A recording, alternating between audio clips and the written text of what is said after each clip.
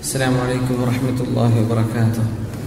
أعوذ بالله من الشيطان الرجيم. بسم الله الرحمن الرحيم. الحمد لله الحمد لله وبنعمته تتم الصالحات. اللهم صل وسلم وبارك على رسولك وحبيبك سيدنا وحبيبنا ومنجينا محمد صلى الله عليه وسلم. اللهم صل وسلم وبارك عليه وعلى آله وصحبه حق قدره ومقداره العظيم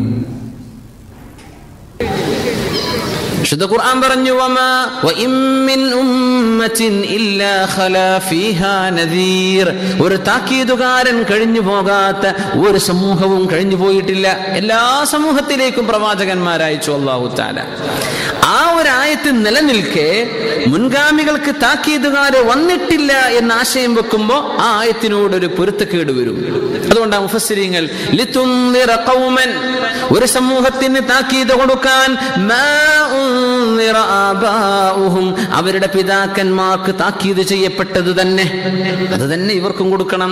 ഇസ്മായിൽ നബി അലഹിസ്സലാമാണ് മക്കയിൽ കഴിഞ്ഞു പോയ നബി. അവർക്ക് മുമ്പുണ്ട് സയ്യിദുന ഇബ്രാഹിം നബി അലഹിസ്സലാം അമ്പിയാക്കന്മാർ ഒരുപാട് അറബികൾ യാത്രക്കാരാണ്. അതുകൊണ്ട് ബത്തലഹേമിൽ ജറൂസലേമിൽ വന്ന അമ്പിയാക്കന്മാർ മഹാനാ ഈസ നബി അലഹിസ്സലാം അതിന് മുമ്പ് വന്ന അമ്പിയാക്കന്മാരൊക്കെ യൂസുഫ് നബിയും ദാവൂദ് നബി അലഹിസ്സലാമും മഹാനായ സുലൈമാൻ നബി അലഹിസ്സലാമും മൂസ അലഹിസ്സലാമിന്റെയും ഈ ദാവത്തൊക്കെ മക്കാർക്ക് അറിയും. അവർ യാത്ര ചെയ്യുന്നവരാണ് അവർ ഒരിടത്ത് ഒതുങ്ങിക്കൂടുന്ന ആൾക്കാരായിരുന്നില്ല മക്കാർ. മക്കയും മദീനക്കാരും കച്ചവടക്കാരാണ്. കച്ചവടക്കാർ നിരന്തരമായി യാത്ര ചെയ്യുന്നവരാണ് അപ്പൊ അവർക്ക് മെസ്സേജ് കിട്ടുന്നുണ്ട്. പക്ഷെ ഒരു നബിയായിട്ട് ഒരാൾ മക്കയിലേക്ക് പിന്നെ വന്നോ? ഇല്ല. പക്ഷെ മെസ്സേജ് അവർക്ക് കിട്ടിയിട്ടുണ്ട്. നിരന്തരമായ താക്കീത് അവർക്ക് കിട്ടിയിട്ടുണ്ട്. പക്ഷേ ആർ ഹീഡ്ലെസ് അവർ ഒരു ബോധമില്ലാതെ ഇങ്ങനെ നടക്കുകയാണ്. ഗഫലത്തിലാണ്. അലി റബി അള്ളാഹു ചാൻഹു പറഞ്ഞു നമ്മളൊക്കെ ഒഫലത്തിലാണ് ഉറങ്ങുകയാണ് മരണം വരുമ്പോൾ എഴുന്നേൽക്കും. അതുവരെ നമ്മളൊക്കെ ഉറങ്ങുകയാണ് ഇപ്പോഴൊക്കെ ഉറങ്ങുകയാണ് ഞാൻ എത്ര ഉണർന്നിരിക്കുകയെന്ന് പറഞ്ഞാലും നമ്മൾ മനസ്സുകൊണ്ട് ഉറങ്ങുകയാണ് കണ്ണുകൊണ്ട് നമ്മൾ ഉണർന്നിരിക്കുകയാണ്. വലിയ സീരിയസ്നെസ് ഒന്നും മനസ്സിലായിട്ടില്ല. ഇപ്പം മരിക്കുകയാണ്. പത്ത് മിനിറ്റ് നിങ്ങൾക്ക് തികയില്ല റൂഹിനെ പിടിക്കാൻ പോവാണ്. ഡോക്ടർമാർ പറയാ യാ അല്ല ഇത് അങ്ങ് എത്തിക്കഴിഞ്ഞല്ലോ നമുക്കൊന്നും ചെയ്യാൻ പറ്റൂല. ഇനിയിപ്പോൾ ഇതാ കൊണ്ടൊന്ന് നന്നായി ഇപ്പം ഇങ്ങോട്ട് എത്തിച്ചത് അരമണിക്കൂർ കഴിഞ്ഞ ആൾ കണ്ണു ചുമ്മുന്നു.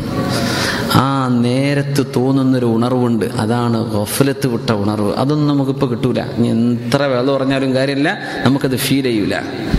മരണം വരുമ്പോൾ നമ്മൾ ഉണരും. അതുവരെ നമ്മൾ ഉറങ്ങുകയാണെന്ന് ഗഫലത്തിലാണ്. അലി റബി അള്ളാഹു തന്നെ അത്ഭുതകരമായ വാക്കാണ്. അതുവരെ നമ്മൾ ഉറങ്ങുകയാണ് അതുവരെ നമുക്ക് ഇങ്ങനെ ഒരു അശ്രദ്ധ. അങ്ങനെ പോകുന്നുണ്ട് ആ കുഴപ്പമില്ല. പക്ഷേ നമ്മളൊന്ന് ഉണർന്നിട്ടുണ്ടോ? മനസ്സുകൊണ്ടൊന്ന് റെഡിയായോ? ഇല്ല. ഗാഫിലൂൻ. അങ്ങനെ ഉറങ്ങുകയാണ് ജനങ്ങൾ അശ്രദ്ധയിലാണ്. അള്ളാഹു ചാല ബോധം നമുക്ക് എപ്പോഴും നല്ല ഉണർവ് നൽകുമാറാകട്ടെ. ഹൃദയത്തിനൊരു ഉണർവ് വരണം എപ്പോഴും ഒരു ബോധത്തിൽ ഇങ്ങനെ ജീവിക്കണം. അത് നഷ്ടപ്പെടും അത് ഓർമ്മിപ്പിക്കലാണ് പ്രവാചകന്മാരുടെ ദൗത്യം അത് ഓർമ്മിപ്പിക്കലാണ് ഖുർആന്റെ ദൗത്യം അത് ഓർമ്മിപ്പിക്കലാണ് ഉലമായിന്റെ ദൗത്യം അത് ഓർമ്മിപ്പിക്കലാണ് ദ്വാറ്റിന്റെ ദൗത്യം അതാണ് പ്രബോധകന്മാർ ചെയ്യുന്നത് لتنذر قوما ما أنذر آباؤهم فهم غافلون സ്വല്ലല്ലാഹു അലൈഹി വസല്ലമ തങ്ങളോട് നബിയെ നിങ്ങൾ താക്കീത് ചെയ്യണം എന്ന് പറഞ്ഞ പ്രയോഗം അള്ളാഹുവിന്റെ ഹബീബ് സ്വല്ലല്ലാഹു അലൈഹി വസല്ലം ജീവിച്ചിരിക്കുന്ന കാലം വരെ നബി തങ്ങളോടുള്ള ഖിതാബാണ്. തങ്ങളുടെ വഫാത്തിന് ശേഷം ആ ഖിതാബ് മുസ്ലിമീങ്ങളിലേക്ക് കൂടെ ബാധിക്കും. ലിത്തുന്തിറ നിങ്ങളെ താക്കീത് ചെയ്യണം. നിങ്ങളുടെ റസൂൽ എന്താണോ നിങ്ങളെ ഏൽപ്പിച്ചത് അത് നിങ്ങൾ സമൂഹത്തിന് താക്കീത് ചെയ്യണം ചെയ്യണം ചെയ്യണം. പ്രവാചകന്മാരുടെ ദൗത്യം ഏറ്റെടുക്കുന്ന അവരുടെ അനന്തരാവകാശികളാണ്. വാപ്പ മരിച്ചാൽ സ്വത്ത് ഇരിക്കാണെന്ന് പറഞ്ഞ് മക്കൾ ഓടി വരുന്ന പോലെ. ഒരു പ്രവാചകന്മാ ഒരു പ്രവാചകൻ മരിച്ചാൽ വഫാത്തായി കഴിഞ്ഞാൽ ആ നബിയുടെ സ്വത്ത് ഇൽമാണ്. ഇൽമ ഏറ്റെടുക്കുന്നത് ആലിമീങ്ങളാണ് പണ്ഡിതന്മാരാണ്. അതുകൊണ്ട് നബിതങ്ങളോട് താക്കീത് ചെയ്യണം എന്ന് പറഞ്ഞ വിഷയം ലോകാവസാനം വരെ ദീനിന്റെ ആലി ആലിമീങ്ങൾ താക്കീത് ചെയ്യേണ്ടവരാണ്. അവരത് ചെയ്യണം. ഖുർആന്റെ ആശയ ആ ആയത്തിന് ഇപ്പോഴും ആശയമുണ്ടല്ലോ. ഫകഅന്നമാ മുഹമ്മദ ആർക്കെങ്കിലും ഖുർആൻ കണ്ണുകൊണ്ട് കാണാൻ ഭാഗ്യമുണ്ടായാൽ അവർ അള്ളാഹുവിന്റെ റസൂലിനെ കണ്ണുകൊണ്ട് കണ്ടതിന് തുല്യമാണത്. പറയല്ലേ റസൂൽ നമ്മൾ കണ്ടിട്ടില്ലല്ലോ. ഖുർആൻ കണ്ടോ? ഖുർആൻ നമ്മൾ കണ്ടോ? നിബിതങ്ങളെ കണ്ടതിന് തുല്യമാണ്. നിബിതങ്ങളെ കണ്ടു എന്നതിനർത്ഥം എന്താണ് ഖുർആൻ ജീവിച്ചിരിക്കുമ്പോൾ ഒരു പ്രവാചകന്റെ സാന്നിധ്യം ഇവിടെ ഉണ്ട് അതാണ് നമ്മൾ പഠിക്കുന്നത്. അള്ളാഹുവിന്റെ ദഅവത്ത് ഇങ്ങനെ നമ്മളെ ഓർപ്പിച്ചുകൊണ്ടിരിക്കുകയാണ് ഒരു നബിയുടെ ദൗത്യമാണ് ഖുർആൻ ചെയ്തുകൊണ്ടിരിക്കുന്നത്. ചെയ്യണം. മനുഷ്യന്മാരെ ഏറ്റവും ഇന്നിപ്പോ ഈ സോഷ്യോ സൈക്കോളജിസ്റ്റുകളൊക്കെ പഠിക്കുന്ന വിഷയം ഒരു സമൂഹത്തിന് എപ്പോഴും സമൂഹത്തെ ഏറ്റവും കൂടുതൽ കാപ്റ്റിവേറ്റ് ചെയ്യുന്ന രണ്ട് വിഷയങ്ങളാണ്. നമുക്കൊരു ആവേശം കിട്ടണമെങ്കിൽ ഒന്നുകിൽ എന്ത് ചെയ്യണം? റിവാർഡ് അവിടെ ഒരു പ്രതിഫലം പ്രഖ്യാപിക്കണം. അല്ലെങ്കിൽ ഒരു താക്കീത് വേണം. ഇത് രണ്ടുമാണ് മനുഷ്യരെ കാപ്റ്റിവേറ്റ് ചെയ്യുള്ളൂ. ഇത് രണ്ടുമല്ലാതെ ഒന്നും സമൂഹത്തിന് ഭരിക്കൂലെന്നാണ് നമ്മൾ പറയാം റോഡ് ആക്സിഡന്റുകളെ സംബന്ധിച്ച് ഒരു ക്യാമ്പയിൻ സംഘടിപ്പിക്കുക. ഇക്കോട്ടെ ആൾക്കാരൊക്കെ വന്നു കുറേ ഡ്രൈവർമാരൊക്കെ വന്നിരുന്നു പിന്നെ നിങ്ങൾ ഓവർ സ്പീഡ് പോയാൽ ഇങ്ങനെയൊക്കെ സംഭവിക്കാൻ പോണത്. അതുകൊണ്ട് പൊന്നു ചങ്ങാതിമാരെ വണ്ടി ഓവർ സ്പീഡ് ഓടിക്കല്ലേ? ആ പിന്നെ നിങ്ങൾ ടയറൊക്കെ നോക്കണം കേട്ടോ. പിന്നെ റോഡ് സേഫ്റ്റി ഒക്കെ പറഞ്ഞു കൊടുത്തു. ആ എന്നായിക്കോട്ടെ ഇവിടെ സലാം പറഞ്ഞ് പിരിയല്ലേ? എല്ലാവരും പിരിഞ്ഞു. ഇതുകൊണ്ടൊന്നും റോഡിലെ ഓട്ടം ശരിയാവില്ല അവിടെ ഒരു റിവാർഡ് വേണം ഒരു പണിഷ്മെന്റ് വേണം. ഇതാ പോയാൽ ക്യാമറ പിടിക്കൂട്ടോ. കേട്ടോ ഇത്രയാ ഫൈന് നല്ല നിലയ്ക്ക് ഓടിച്ചാൽ ചിലപ്പോൾ വല്ല പോലീസുകാരും ബാക്കിലുണ്ടെങ്കിൽ നിങ്ങൾക്ക് ചിലപ്പോൾ അവാർഡ് കിട്ടിയെന്ന് വരും ഒരു ഫൈവ് തൗസൻഡ് പ്രഖ്യാപിച്ചിട്ടുണ്ട്. ചിലപ്പോൾ നിങ്ങൾക്ക് കിട്ടിയെന്ന് വരുന്നു. മര്യാദയ്ക്ക് ലൈൻ ചേഞ്ച് ചെയ്യുമ്പോൾ സിഗ്നൽ ഇട്ടിട്ട് ചേഞ്ച് ചെയ്തേക്കണം.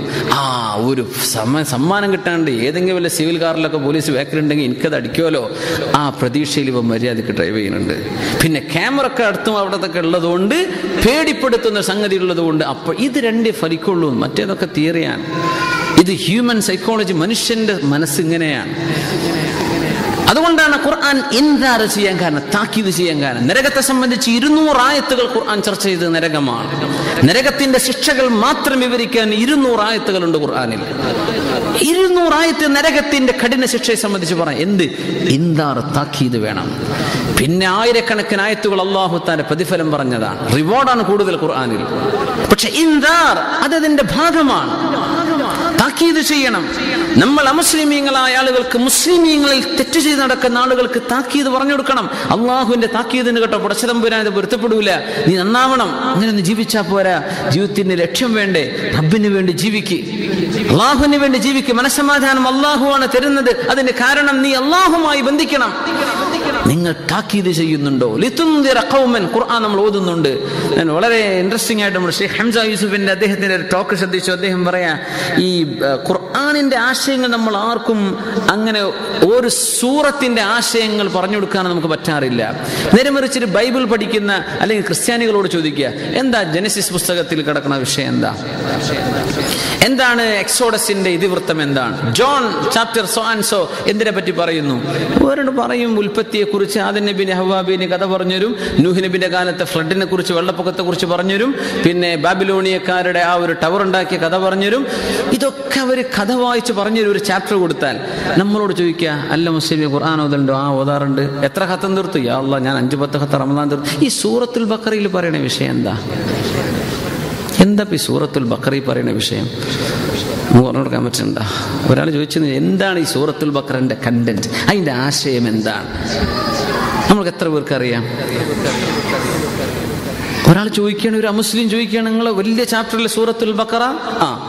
എന്തായാലും പറയുന്ന വിഷയം എന്താണ്? എന്താണ് അതിന്റെ കണ്ടന്റ് എന്താണ് അള്ളാഹു ആ സൂറത്ത് നമുക്കറിയില്ല. പിന്നെ എങ്ങനെ നമ്മൾ താക്കീത് ചെയ്യാം? ഖുർആന്റെ കണ്ടന്റ് നമുക്കറിയുന്നില്ല. അത് മുസ്ലിം ഉമ്മത്തിന്റെ മുമ്പിൽ ഏറ്റവും വലിയ ചോദ്യചിഹ്നമാണ്. നമ്മൾ ഖുർആൻ തഅബ്ബുദൻ നമ്മൾ ഖുർആൻ ഓതുന്നവരാണ്. ഇബാദത്തായിട്ടും പ്രതിഫലം കിട്ടാൻ അള്ളാഹു തരും ചെയ്യും. പക്ഷെ തദബ്ബുറൻ ഖുർആൻ ആഴത്തിൽ ചിന്തിക്കേണ്ടതാ. ഖുർആന്റെ ഏറ്റവും വലിയ പ്രത്യേകത തന്നെ എന്ന പ്രയോഗം. തദബ്ബറ എന്ന് പറഞ്ഞാൽ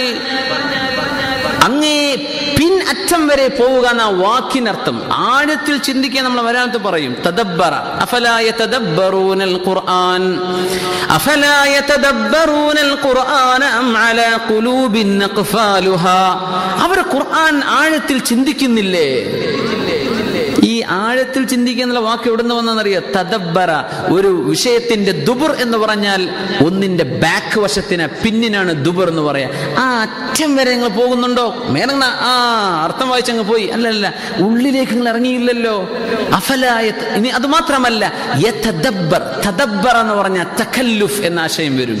തദബ്ബറ തഫഅല തഫഅല യതഫഅലു തഫഅലൻ ഫഹുവ മുതഫഅിലുൻ പറഞ്ഞ പ്രയാസപ്പെട്ട് ചെയ്യുന്നതിനാണ് തഫഅല എന്ന പ്രയോഗം. അത് പെട്ടെന്ന് നോക്കിയാലൊന്നും കിട്ടൂലേ? ഒന്ന് ക്ഷമിച്ച് ആഴത്തിൽ നിങ്ങൾ ഖുർആൻ പഠിച്ചു നോക്കിയോ? അള്ളാഹു ചോദി അഫല ഖുർആൻ? അള്ളാഹുവിന്റെ പ്രയോഗം ഇങ്ങനെ നോക്കി ഓടിച്ചു പോയാലൊന്നും കിട്ടൂലേ? ഓടിച്ചു പോയാലൊന്നും ഇതിന്റെ ഉള്ളിൽ അങ്ങ് കിട്ടില്ല. അങ്ങറ്റം വരെ പോണം. ആ പോകാൻ കുറച്ച് ക്ഷമ വേണ്ടി വരും കുറച്ച് പ്രയാസം ഉണ്ടാവും കേട്ടോ. അതിനാണ് ഖുർആൻ. എന്നൊക്കെ പറഞ്ഞ പോലെ. അല്ലല്ല കുറച്ച് പ്രയാസം വരും. അങ്ങനെ നിങ്ങൾ ഖുർആൻ പഠിച്ചില്ലയോ? നിങ്ങൾ പഠിക്കുന്നില്ലേ? ആലോചിച്ച് നോക്കിയാൽ ഖുർആൻ തന്നെ പഠിക്കാൻ ജീവിതകാലം മുഴുവൻ വേണ്ടി വരും.